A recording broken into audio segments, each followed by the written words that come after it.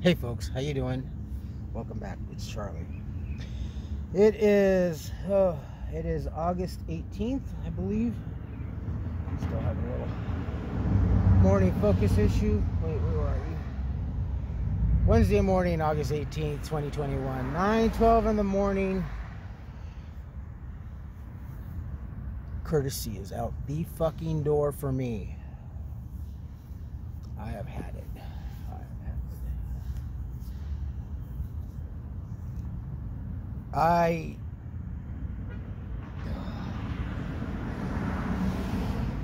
you know and what what happened during that the early course of the morning uh, I didn't I didn't even record a lot of it. It's just because in between breaks and moments of, of quietness and whatever tranquility there was I just you know would would try to take uh, try to get some sleep when whatever I could.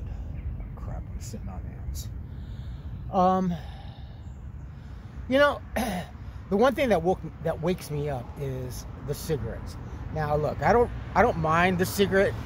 You know, just if you're gonna smoke cigarettes and you know, you can smoke outside. That's that's where one of the rules of, of this house is if you're gonna smoke cigarettes, just smoke it outside, front, back, side of the house, whatever just don't smoke in the house. I mean, it kind of makes sense, you know, cigarette smoke. It doesn't take much, you know, just after one cigarette, you know, the, the room or the house just starts to smell. Cigarette smoke, you know, just really sticks. I don't mind it. I mean, I used to smoke. I don't, even if I walk walking across the street and I walk through a waft of, you know, cigarette smoke or tobacco smoke, it doesn't bother me, whatever. I'd almost rather have her vape tobacco. She's gonna do that in a room. I'd rather have her vape tobacco. I that I can deal with honestly. It, it's just a little more pleasant, you know, given all the flavors and the scents and everything. that they create. I'm tired. I'm just I'm I'm really rambling.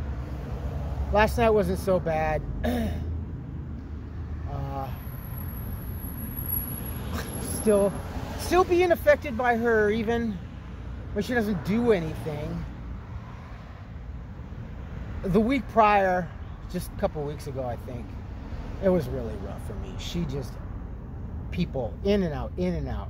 There were four people that came in, three of which I was trying to count because I can notice the water pressure and I can hear the, the water going through the pipes. There were about four people that came over, uh, one including her son, and I believe one briefly was her granddaughter from Pennsylvania. I still don't understand that. I guess it's just her upbringing and whatever it is that they do and whatever. Uh, three people were taking a shower and like, fuck, this, this is why, you know. And I just now for just heard myself. It's Wednesday, so there may be a chance that she bails to go out to the casino to go do whatever she's gonna do. That's another thing. She's been she's an ex-con. She's an oh, from what I could best guess, she's a felon. Of what I don't know. Again, one can only imagine run rampant, right? Given the situation and the ongoings of last year and everything that she was doing and uh, everything that she continues to do. The one thing that bothers me also is that it it adds and it to not I don't even know where I'm going with this. I don't the one reason I don't like living at this residence is because I've seen now and I've heard a lot of the illegal activity this residence, this particular address, this house on this property is being used for ill-gotten purposes.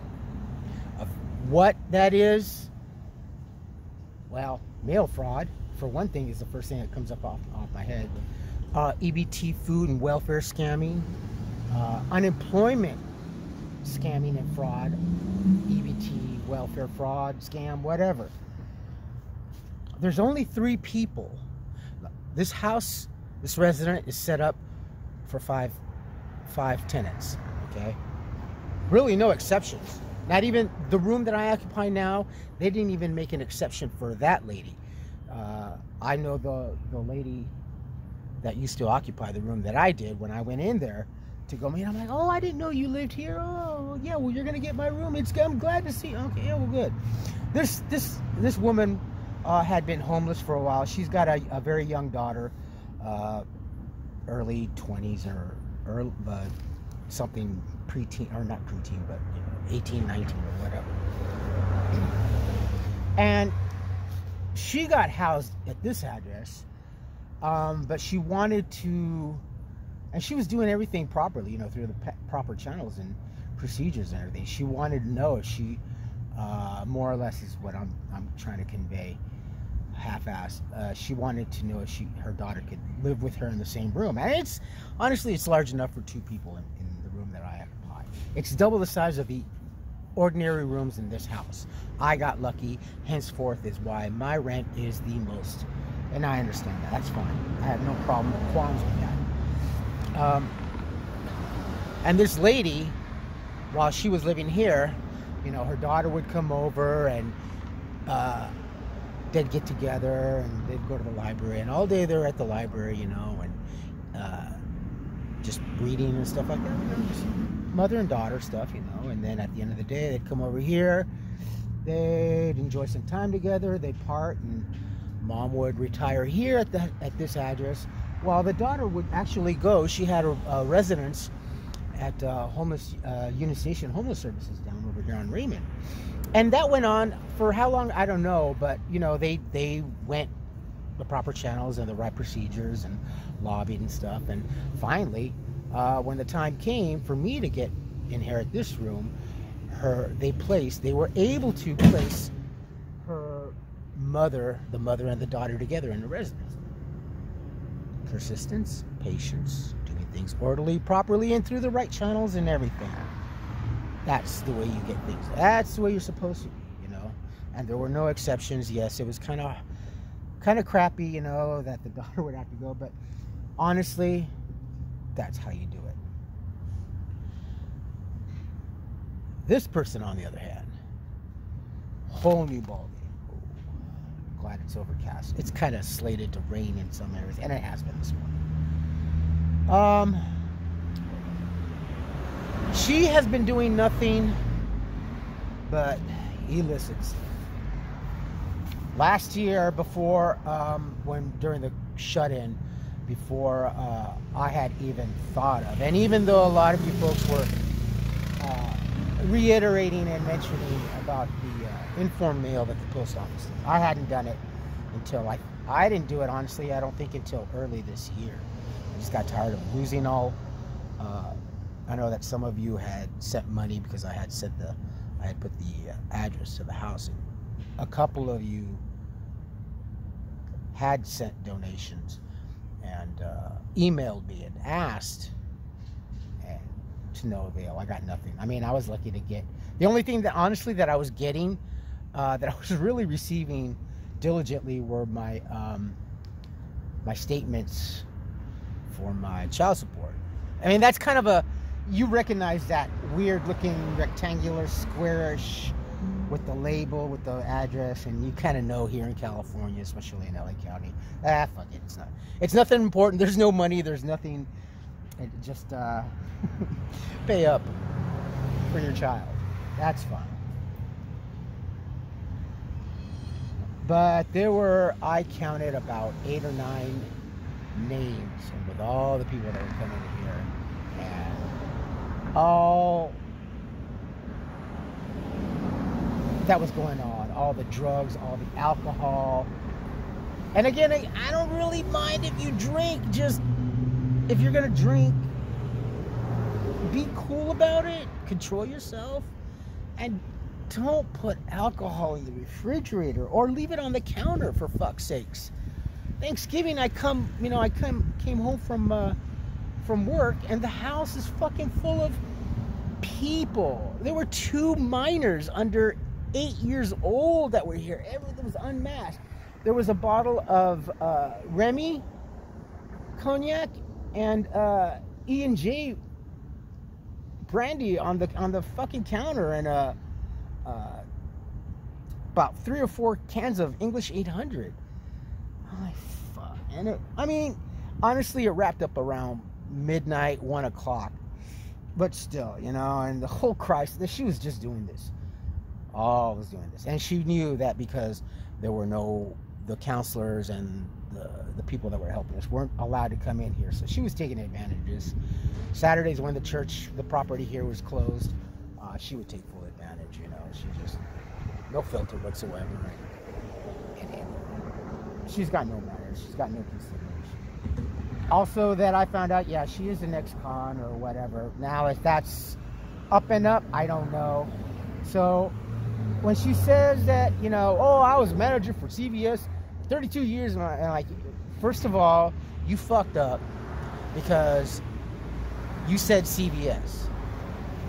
CVS is has a thing with the company that I work for and I know quite a bit of business and everything. And, and I was waiting for the opportunities every time she kept hounding and stuff like that, or whenever we'd have it.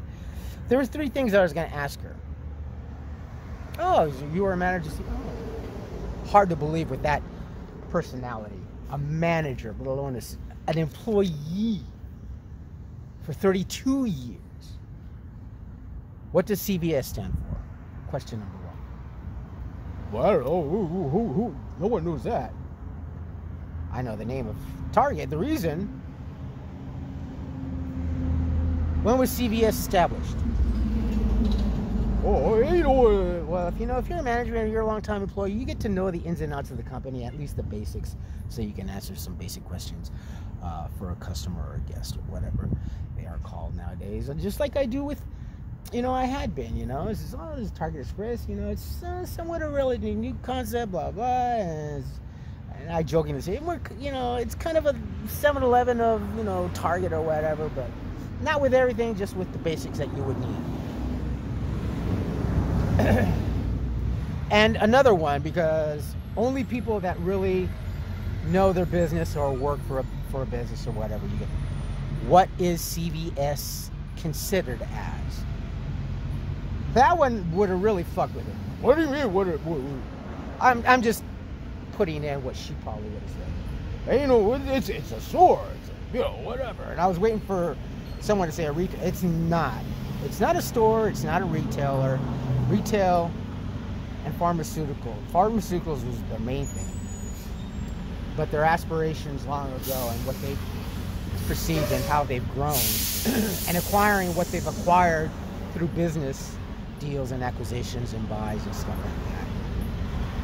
My thing is like, I know it's CVS is considered a World Health Organization. It's not considered a retailer or a big box. That is part of their other entity. That's part of the subdivision.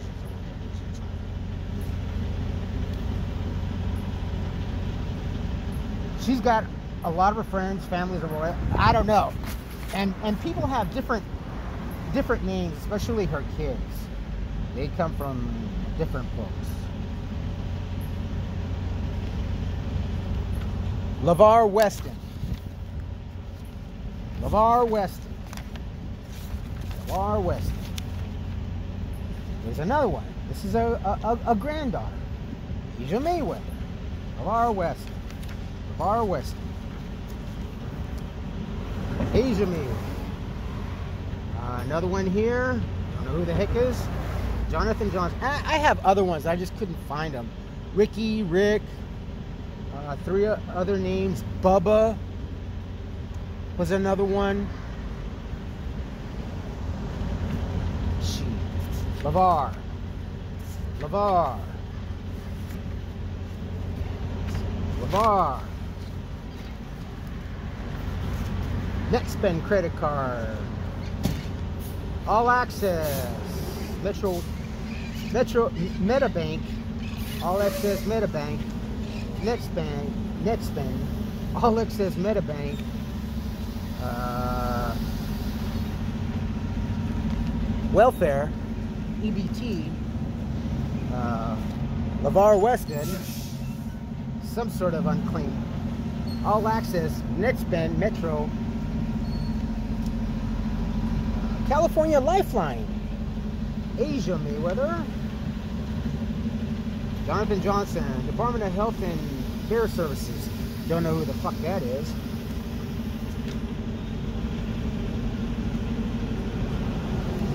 Another LeVar and Asia.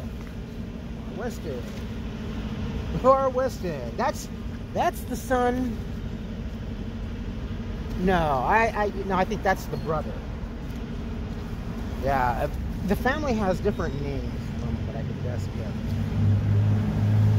LeVar Weston.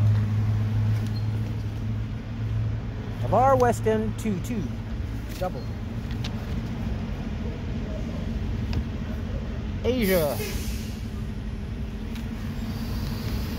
Asia. That's a former tenant. Asia. Asia. Oh, and the newest names as of lately. Now, here's the one thing that, that she does. Early in the morning, when she's trying to avoid, I don't know, people that she's indebted to. This is I remember this from the 70s when I was a kid. People used to do this. When the wolves are calling, when the bill collectors are coming and knocking out the door, uh, we used to have bill collectors back in the day, young folks, that would actually come to your residence and say, hey, power company, utility company, telephone company, whatever services that you have turned on or paying that we do not receive a payment, we're going to give you notice that we're going to shut off or whatever.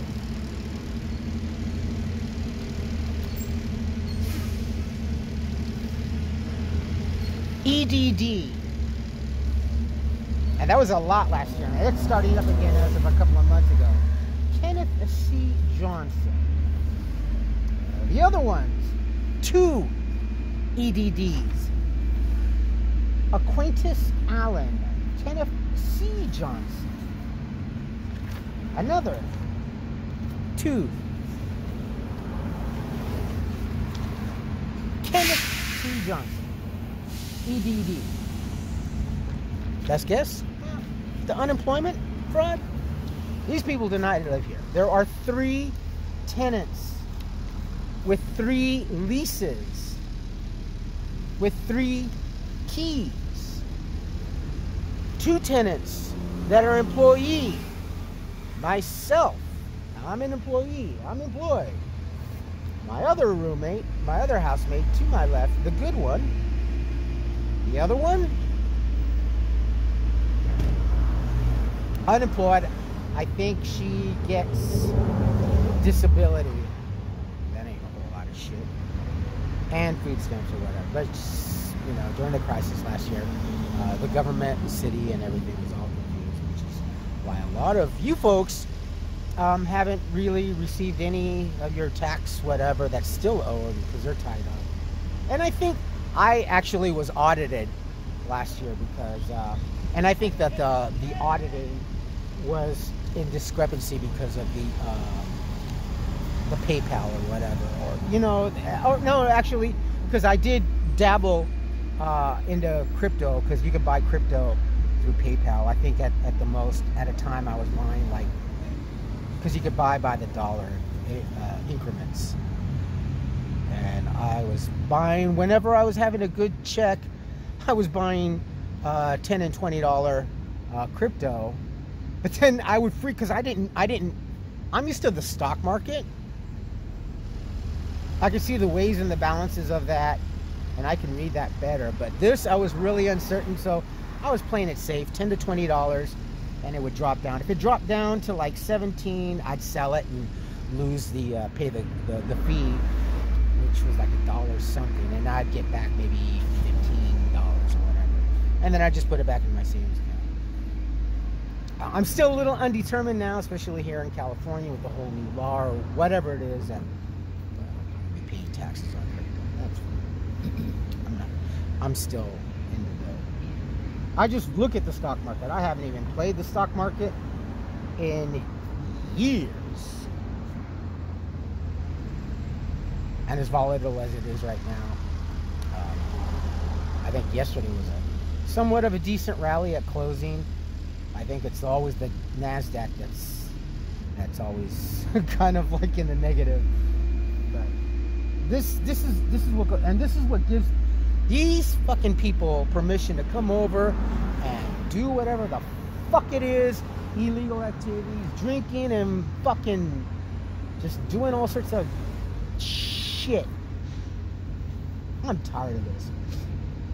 And again, this is what I mean. Union Station did not remove her, so they are part of it. They are contributing to this.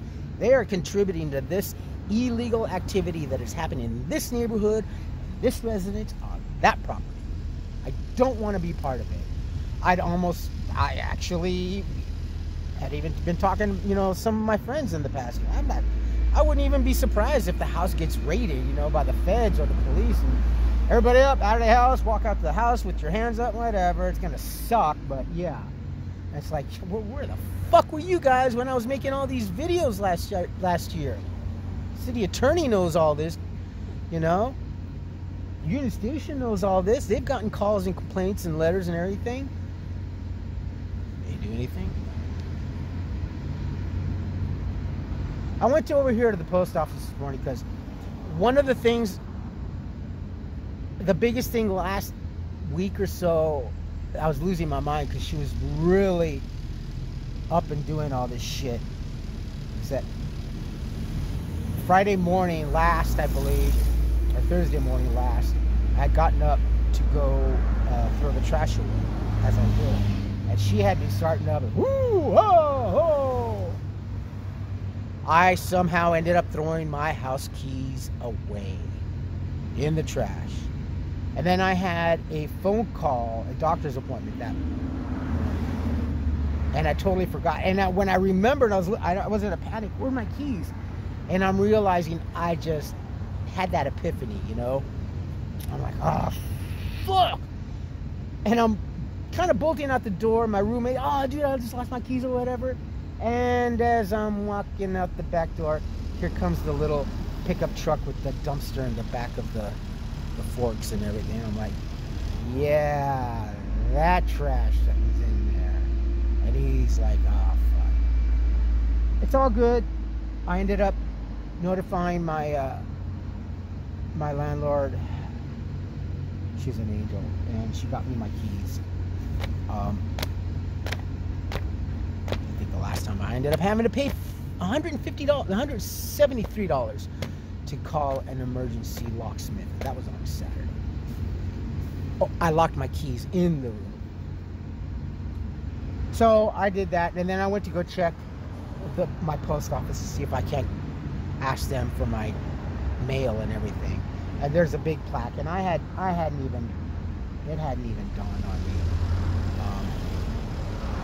They won't they won't hand you your mail across the counter. You need to have your keys. So as flat broke as I am with no money, I didn't even, yesterday, I didn't even uh, go to the Methodist church because I've been trying to spend all this time trying to change my tire. I'm having to cut the tire off. I can't manipulate. I just don't have the strength in my right shoulder because I had my shoulder replaced in 2015. And uh, I just don't have that upper arm manipulation or that strength. So I'm actually having to split the tire now with my box cutter from work, and that's taking forever. And let me tell you, that tire is pretty rough. Anybody that's ever tried to cut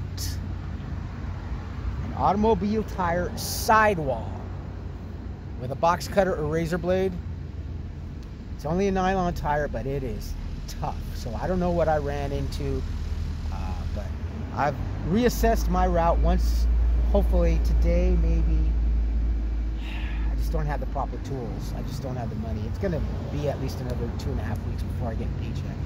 First order of business to get my my mailbox up and running. By now, here's the funny thing. And as I'm walking away, I'm like, now is probably when the EBT card is in there, the food stamps are in there now. That's just the way this shit works with everything that I do. So that's probably in there. And I'm walking back over here to do this video And I'm laughing. I'm like, damn it, I know now. Yeah, it's in there. Oh well. When I get paycheck, get get a paycheck, you know, I, I get my my uh, postal situation all squared away. That's that's got to be the first order of business, and then I'll pay my delinquent bill, cable, and oh, I owe so much. How quickly it, it adds up, right? You know, when you lose your income. Can't think. I can't. So, I'm gonna wrap this up. And uh, I'm gonna try to get the. I'm tired. I mean, getting to work is no big deal, but coming home from work, I'm I'm I'm tired. I'm dog tired, and I don't want to. And I'm thinking, yeah, it'd be cruising along. I'll get it done. I just, just take a while. Hopefully, I can. I'm just cutting away. oh, fuck's sakes, man! Courtesy's out the door. All right, my friends. You folks take care of yourselves, take care of each other, but always take care of yourselves first. Love one another, trust one another, be kind to each other. Help Don't take today for granted or any other day thereafter. Live for the moment. Pull down your pants and slide them out. If you like this video, hit the thumbs up. If you like what I'm doing, we're doing, hit the subscribe button. Hit the bell notification button. Tell your friends and family about me, about us, what's going on. I ended up actually I guess Universal got tired of waiting for the money, so they ended up taking 6.95 and they pushed it back. So my best guess is, yeah, I'm totally, I've totally lost the Universal. It's no big deal. I, uh, I'd have to get a, a, a, bus pass anyway, just just to be able to afford the 350 or so round trip on the on the on the subway to get to Universal Studios. So uh, I, even if I had a, a, pass to get in for free, it just wouldn't behoove me, and I don't think I would do that right now. I'll get a pass or whatever. Worried about it, but I, I'm kind of geared now for Disneyland. I want to go to Disneyland this holiday season. I don't care how, but I want to spend at least if I can save it. I know a lot of you folks, but I need some I need that certain something in my life that I haven't had. So I'm looking to spend maybe if I can save. I know it's a ridiculous amount off the top of my head, thousand dollars to go spend uh, one night in Disneyland with a room somewhere at a cheap motel because I gotta have to take an Uber. And right now, probably roughly, I haven't checked the rates. I'm saying 80 bucks to get to Anaheim and maybe a hundred and plus dollars to get back here because it's more expensive inland to the coast. But I'll worry about it, but I definitely want to. I just, I just need some. All right, folks. Comments, good or bad, please post, and I will talk to you tomorrow. Go back to work tomorrow. I was off today and yesterday, and I've been working on this thing. Actually missed some phone appointments. I'm just, I can't think. She's just fucking around. All right, that's enough. Be nice today. Don't be like me, please.